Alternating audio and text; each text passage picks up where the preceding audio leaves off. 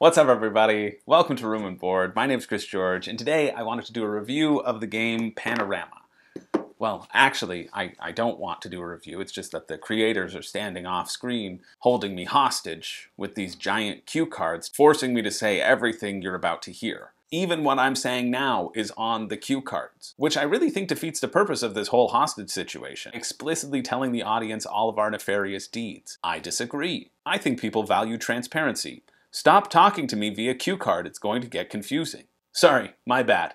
That's okay, I still love you. It's just one set of handwriting now. Guess they really need to work on their teamwork. And speaking of segues, in Panorama, you work together with the neighbor on your left and the neighbor on your right to build two beautiful panoramas. And then, if that wasn't enough, you do it again. the person with the highest score of all four panorama combinations is the winner. And that's it. It's a pretty simple game. It plays 1 to 6. It says it takes about 20 minutes, and I would say that's about a lie. I'd say it can take up to 40, maybe 50, depending on the players and the player count. And while the two-player variant is a bit different, which we will get into, the general gameplay is this. Everyone starts with a hand of cards with a variety of pictures on them, and everyone's going to pick one of those cards, put it face down, and then pass their hand to clockwise or counterclockwise, wherever you want to do it, as long as you all pass in the same direction. Then, once everyone's chosen a card, you're going to reveal it in player order adding it to either one of your panoramas on either side. And if it's the first time you've added a card to this panorama, to this side, it, it will begin the panorama. Now there are a few considerations to placement. Number one, every panorama has a different height of background. So it'll either be low, medium, or high, and you cannot place a card unless it matches up with that specific height. And if the card that you chose can't match to any of the panoramas, you'll flip it face down, and that'll act as like a wild height for other people to continue on the panorama. Now the downside of being forced to flip a card face down is that you don't get to score its unique scoring criteria. There are animals and features which will give you a variety of points based on a variety of considerations. The moose can't be beside other animals. The bear wants to be beside a tree. The aurora borealis wants to be next to an aurora borealis. Different ways of combining that you want to match up to make your full panorama score as many points as it possibly can. Now for a 3 plus player game, you're also going to have these goals, which will be awarded to a panorama or multiple panoramas if there's a tie at the end of the game and it'll give them a bunch of points. So you're going to want to try to grab those as well. And of course, since this game was inspired by natural beauty, aka Salma Hayek, you first start at dusk and then panorama through dawn. And here's the potential contentious part of this game. You basically play it twice, which I understand because there are different cards that interact with each other depending on the time of day. In dusk, there are moons. In dawn, there are suns. In dusk, you have the aurora borealis. In dawn, you have watchtowers and cliffs. no cliffs at night.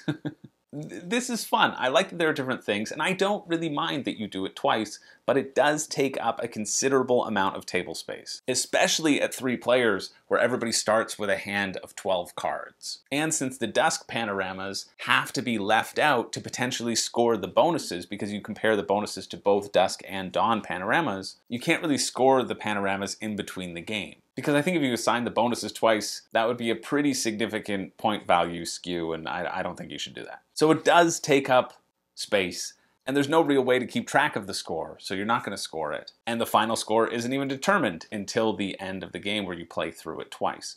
So it also could be eh, potentially a little bit anticlimactic because you just add up all the points at the end and see who wins. And this also leads into the potential issue, and to be fair, I haven't experienced this personally yet, but I can see where it might happen of only building the panorama with your favorite neighbor and completely neglecting the other one. Which is fair, it's a strategy. If you think that other person was in the lead because of the first round, then of course you're going to devote more of your attention towards your other partner in the second round. But the problem with that is because you don't even score them at the beginning, you don't really know who has that commanding lead. And it's not really worth trying to score it to keep track of it. Now, this worry is somewhat mitigated by the fact that if you can play a card on a panorama, you must do so.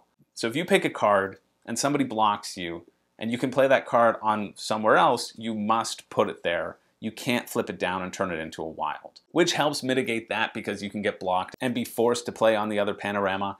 And I haven't really run into it because you're always going to try to do the thing that gets you the most points. There are different combinations, and if you can get yourself some points, you're going to take that option. But I just think this could have been easily fixed by borrowing the scoring mechanic from Between Two Castles of Mad King Ludwig. That does the exact same thing. You're building two separate things at once, but your score at the end is the lowest of the two things. And sure, if you want to play two rounds to make sure that there is always a definitive winner, great.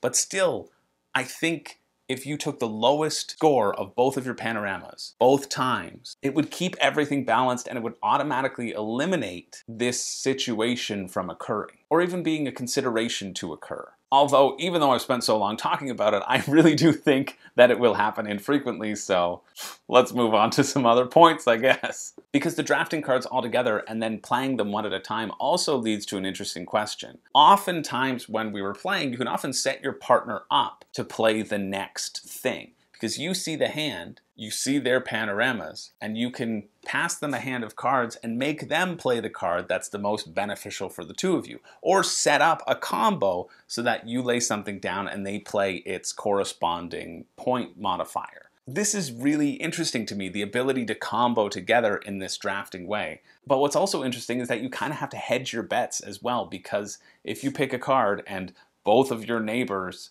have played on either side, or your neighbor plays on the spot where you want it to go, that can just arbitrarily ruin your plans just because of a turn order. So this game for me, it's it's a bit of a puzzle. I think it might be a game that could greatly benefit from some house rules because I can see all of the choices that were made going into the design of it.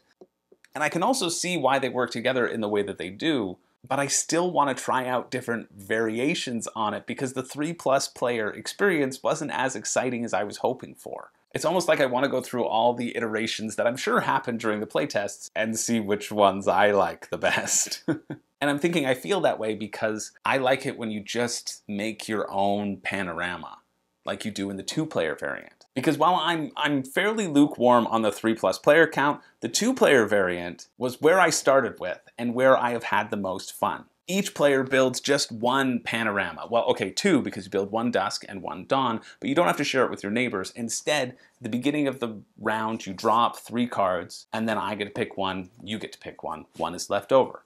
Next, you draw three more cards. You get to pick one, I get to pick one. Two is left over. It will slowly build this pool of options and your panorama will slowly increase greater and greater. And you play till everyone's panorama is 10 cards, you do it again, then you score both panoramas and see who wins. And the best way to describe this experience, which I lost in the 3 plus player experience, is that it is truly, truly calming. Two player, honestly, top 10 calming games. It is really satisfying to build your own picture in a way that I didn't find that satisfying when I was building it with someone else. Because, oh, look at that, your partner screwed up your move and now you just have to turn your picture over. In the two player, since it's head to head, this is where you're setting yourself up you're going to have these turns back to back because it always alternates. And you can hope that the right thing comes up, but the eventual abundance of options in front of you makes it so that it becoming a cutthroat game is not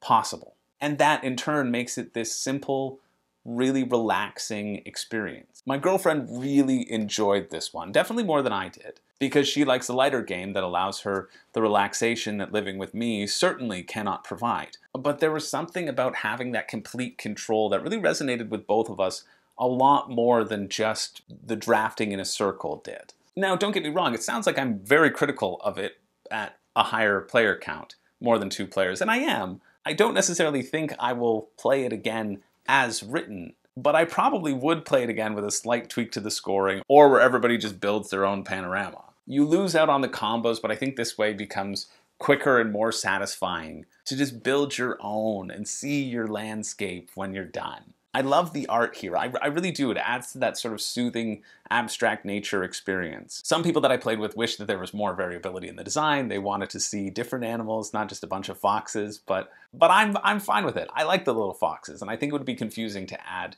different types of animals that all don't do anything, because the foxes don't score, they're just used to score other things. This one is an interesting one. When all's said and done, uh, the bottom line I'd have to say is this. Panorama is the definition of a calming experience. The art and concept of assembling your own panorama is relaxing, even if you're still fighting to deny your opponents certain cards. But for me, a lot of the joy of building your own panorama is lost in a three plus player experience. It's still a satisfying experience, but it's not necessarily a strategically dense one. And so this is tough.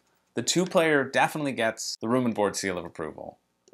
For three plus players, I'm not so sure yet, but I'm looking forward to trying it with these different variations. But if you're looking for more than two players, I probably wouldn't recommend it at that player count primarily. So bear that in mind if you are interested. But when it all boils down to it, honestly, I'm really glad I was sent a copy. This showed up at my door with no note. Nobody reached out to me ever. They just sent it and it arrived and I thought, wow, okay. I don't even know how they got my address. Complete mystery to me. But it is fun enough that I wanted to put a video out there and let you all know about it. For 20 bucks on Amazon, you can do a lot worse, and that's what it's currently selling for. And I really think that is the, oh, that's your one scoring aid card that they give you for a six player game. But I think this is the right price point for this game. At 20 bucks, I wouldn't be upset having bought it, even with the experiences that I've had. I would just primarily play it at two players or make my own little tweaks to the larger game and not even tell anybody that the rules are different because it won't matter. Nobody needs to know except you and I. it's just a quick, simple drafting game that doesn't take itself too seriously and doesn't make you think about your choices all that much. so when you want to unwind, it's nice to have a few games like that. And hey, this is going to stick around because my girlfriend really, really enjoyed it at that two player count. She hasn't played it at multiple players. It's definitely one that we'll pull out at night and make a cute little picture, relax, see who wins, and move on with the evening. Anyway, thank you so much for watching. I hope you found this video helpful. Now that you know about this game, I certainly didn't know about it until it just showed up, so I did want to make this video though because I like it. I do. I really do like it, and I can't express how calming that two-player experience really is. Anyway, if you wouldn't mind, leave a like on the video, subscribe if you haven't, helps me out, you won't even remember that you did it. Once again, my name is Chris George. I don't have a catchphrase. I was trying to think of something, but I do have a light that dies after 20 minutes of filming. anyway, see you in the next one. That was that was good timing.